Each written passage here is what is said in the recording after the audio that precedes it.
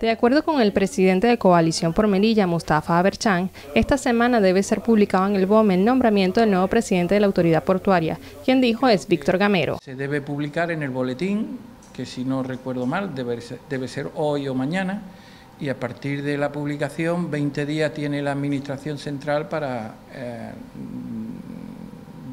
para el nombramiento. Fue unánime en la figura de Víctor Gamero. Por otra parte, el CPMista también se refirió al cierre de la aduana comercial que cumplirá un año cerrada. Nosotros vamos a intentar rescatar cuanto antes, en la medida de lo posible, lo que es la reivindicación política, la reivindicación política para el Tratado de Buena Vecindad, que incluye en el Tratado de, de Vecindad la frontera aduanera, el mismo estatus de la frontera que hace eh, dos años cuando Marruecos de forma unilateral decidió retirarla.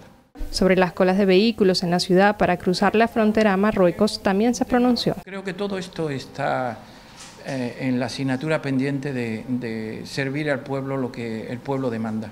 No, no se está andando en esa dirección. En su opinión y desde CPM defienden el área del puerto porque creen mejorará el paso fronterizo.